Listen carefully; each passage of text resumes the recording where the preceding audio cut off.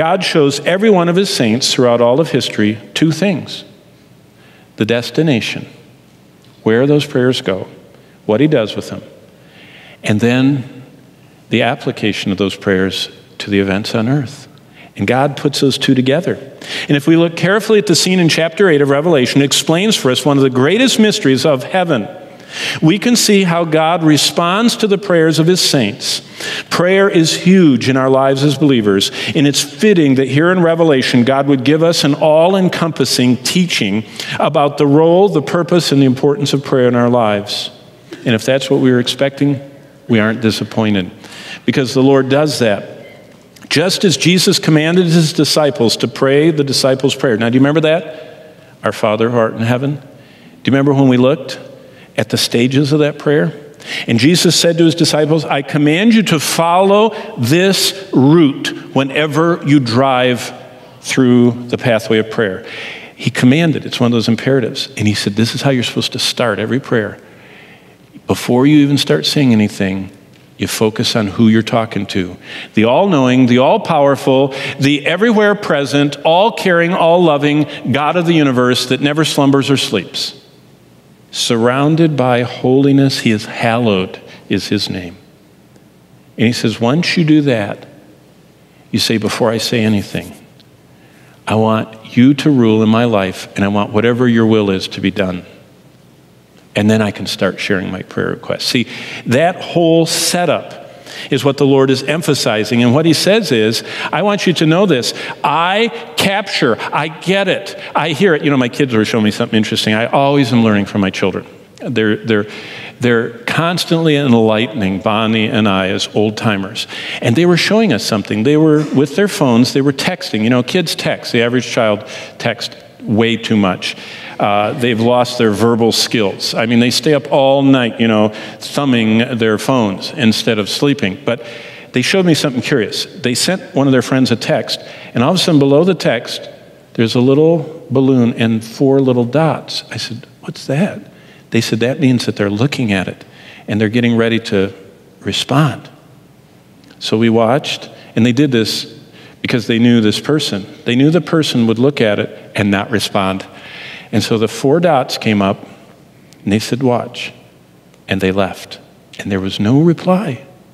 And did you know that, as they were showing me that, I thought of countless believers. I mean, a text, you know, goes right to the face of the phone, and they can't miss it.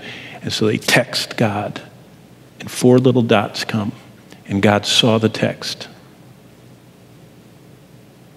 And there's silence. See, that's what this chapter is about. What do you do when you text God and He doesn't text you back? What do you do with your text? Well, he says right here, he captures them. This chapter shows how God captures and holds on to every prayer of every saint down through the ages.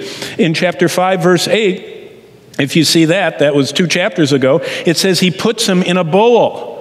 And in chapter 8, right here, and verse 3, that bowl is in front of him all the time. It's in front of the throne of God. He captures those prayers. And the scene around God's throne is, is loud and noisy, but God pauses. And there's silence, and it's not momentary, but it's for approximately the same amount of time that something happens in the Bible. Let, let me take you to something. See, you see why this is so important? Go back with me to Exodus 30. I want to show you something. You know, you can read, and I do read, and I have hundreds, I actually have thousands of books, and I read dozens on this passage. I read what everyone that ever printed anything about that I have in my 4,500 books that said anything about this chapter. And you know what was fascinating? They all are going on and on, and finally one said, Well, if you go back to Exodus 30, you'll figure it out. And so I went back to Exodus 30. Look at Exodus 30 with me, because all of a sudden, if you don't understand Exodus 30, you don't understand what altar is in heaven. I mean, why is there even an altar in heaven? What on earth is God doing with an altar in heaven? I thought altars were in the Old Testament, right? Isn't that what most people say? I know many people, they don't even need an Old Testament. They just carry around a New Testament because that Old Testament stuff, that's just Old Testament. Well, God is still operating on Old Testament stuff. Did you know that? Because He doesn't change. And if it was true and unchangeable, immutable truth, it's still true today, and it's not going to change in the future. And so, what he shows us is way back in Exodus 30, he had this little altar. In fact, I'll show you a little picture of it.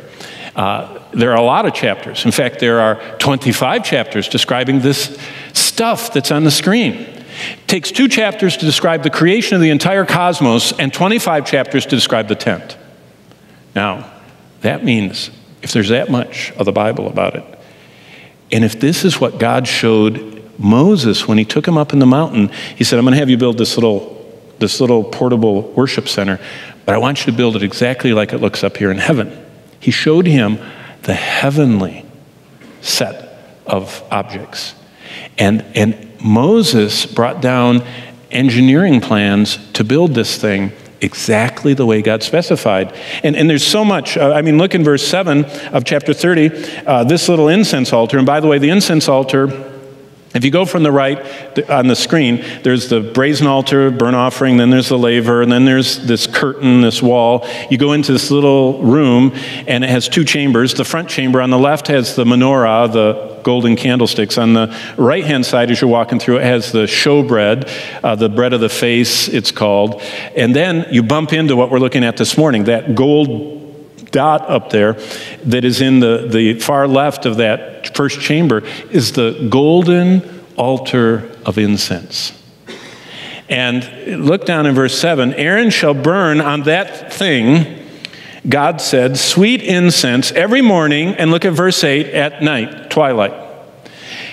And so the day of worship in the tabernacle and temple started with the high priest going there or one of his designates and burning incense, and then that smoke rose while they were doing all the other sacrifices all day long. And then the day closed, verse 8, with the twilight. And so, why? Well, just, I mean, we don't have time to, and we will in the future. But what is going on is the tabernacle incense offerings are telling us something.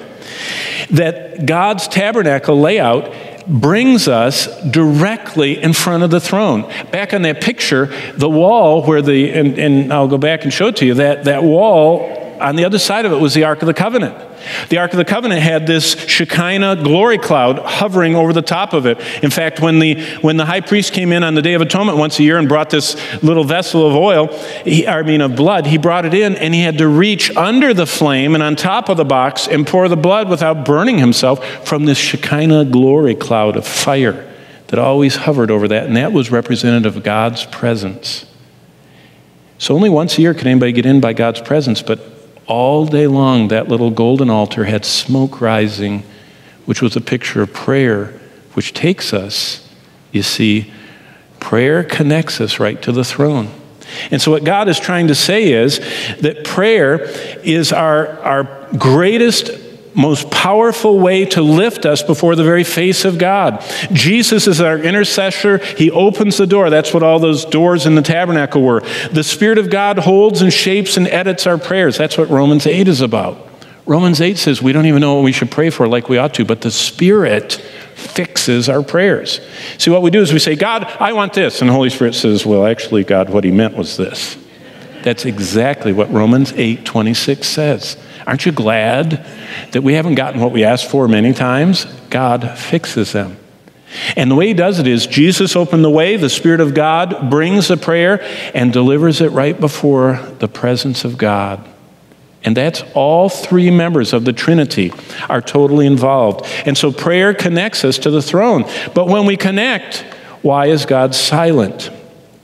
Well, we're going to read about that and then we're going to have communion. So, okay, let's go back to chapter 8. Now it's time to read the text. Now I've drawn enough pictures. Look at chapter 8, and I'm going to read the first six verses, and I want you to see the destination of prayer. And then I want you to see in this instance how God applies an answer to those prayers. It's very graphic. Okay? Revelation 8, verse 1 through 6. Let's stand and we're going to read this and then we're going to prepare for communion. Revelation 8, verse 1 when he opened the seventh seal, there was silence in heaven for about half an hour. And I saw the seven angels who stand before God. And to them were given seven trumpets. And another angel, having a golden censer, came and stood at the altar. He was given much incense, that he should offer it with the prayers of all the saints upon the golden altar which was before the throne. And the smoke of the incense with the prayers of the saints ascended before God from the angel's hand. Verse 5 Then the angel took the censer filled with the fire from the altar and threw it to the earth. And there were noises, thunderings, lightnings, and an earthquake. So the seven angels who had the seven trumpets prepared themselves to sound. If you caught that, God took all those unanswered prayers that had been building up in that bowl, He had the angels scoop them out. He put them with the incense with coals from the altar, and as they flamed into smoke, I mean, as the flames caused the incense to burst forth into smoke, the angel walks to the edge and he throws it on the earth. And what the Lord is illustrating is he's answering centuries, thousands of years of prayers.